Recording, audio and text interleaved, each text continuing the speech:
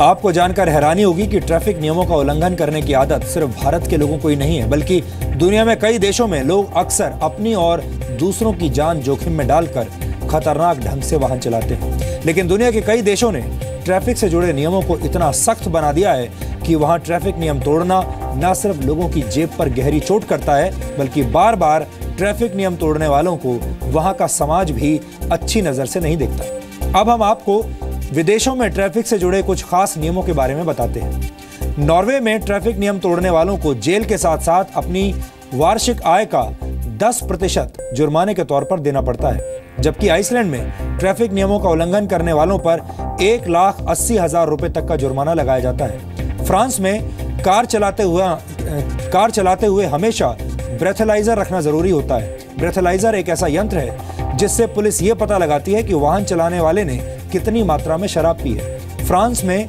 Car में breathalyser न रखने पर ड्राइवर को 11 यूरो, यानी करीब 814 रुपए का जुर्माना देना पड़ता है। जापान में अगर आप किसी ऐसे ड्राइवर के साथ बैठे हैं जिसने शराब पी हुई है तो आपको भी कानून सजा देगा। फिर चाहे आप खुद शराब पीते हो या नहीं।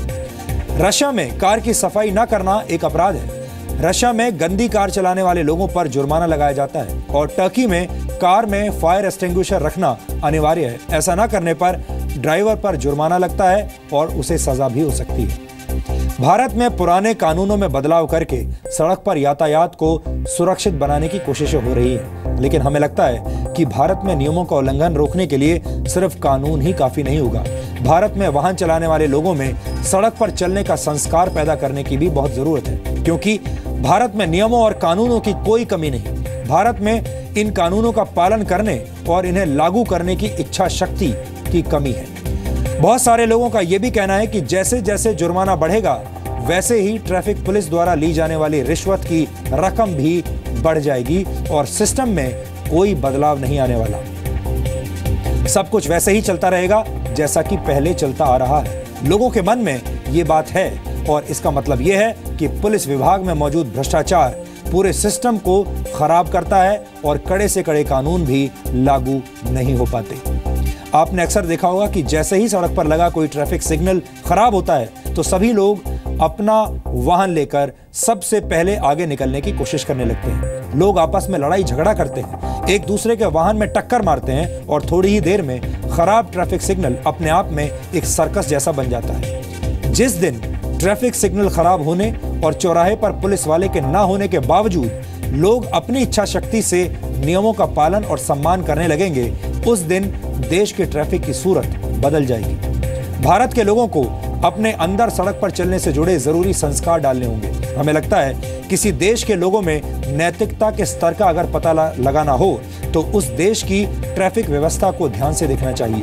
क्योंकि जिस भी देश में लोग सभ्य तरीके से, धैर्य के साथ वाहन चलाते हैं उस देश में ट्रैफ़िक के नियम और कानून दुर्घटनाओं के शिकार नहीं होते। और डीएनए में अब हम आपको एक एक्स्ट्रा जानकारी देंगे। ये जानकारी हमारे देश की शिक्षा व्यवस्था से जुड़ी हुई है।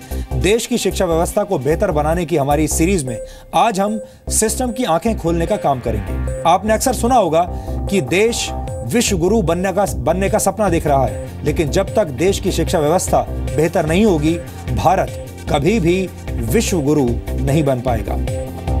देश की संसद में शिक्षकों पर एक रिपोर्ट रखी गई, जिसमें पता चला कि भारत में एक लाख छह हज़ार स्कूल ऐसे हैं जहाँ सिर्फ़ एक टीचर है। राज्यों के हिसाब से भी आंकड़ा जारी किया गया है और इस लिस्ट में पहले नंबर पर मध्य प्रदेश है, जहाँ सत्रह हज़ार आठ सौ चौहत्तर स्कूल ऐसे हैं जिनमें सिर्फ़ एक ही अध्यापक बच्चों को पढ़ा रहा है। इस लिस्ट में दूसरे नंबर पर उत्तर प्रदेश है, जहाँ सत्रह स्कूल ऐसे हैं जिनमें अलग अलग कक्षाओं में बच्चों को पढ़ाने के लिए सिर्फ़ एक ही टीचर है। राजस्थान में तेरह हज़ार से ज़्यादा ऐसे स्कूल हैं जहाँ शिक्षा व्यवस्था सिर्फ़ एक शिक्षक के भरोसे है।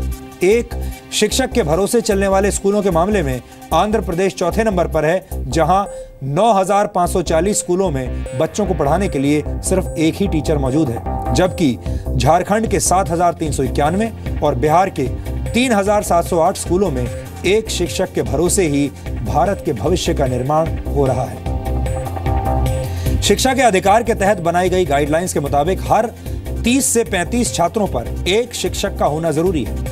आपको जानकर हैरानी होगी कि भारत के सात लाख साठ हज़ार प्राइमरी स्कूलों में से करीब आधे, यानी तीन लाख उन्नीस हज़ार प्राइमरी स्कूल ऐसे हैं जहाँ बच्चों को पढ़ाने के लिए सिर्फ़ दो शिक्षक मौजूद हैं। भारत के स्कूलों में करीब 12 लाख शिक्षकों की कमी है, यानी भारत में जब तक शिक्षकों की संख्या नहीं बढ़ाई जाएगी और वो भी अच्छे शिक्षकों की, तब तक भारत के स्कूलों में देश के भविष्य का निर्माण आधा अधूरा ही रहेगा।